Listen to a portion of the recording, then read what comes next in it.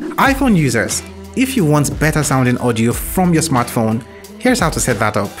Go into settings and tap on accessibility, then tap on audio visual. Select headphone accommodations and toggle this option on. From this menu that shows up, you can change the audio tune to brightness, vocal range, and even boost the sound using this slider on here. It's more like an EQ tweaking feature when using headphones on your iPhone. Follow for more tech tips like this one.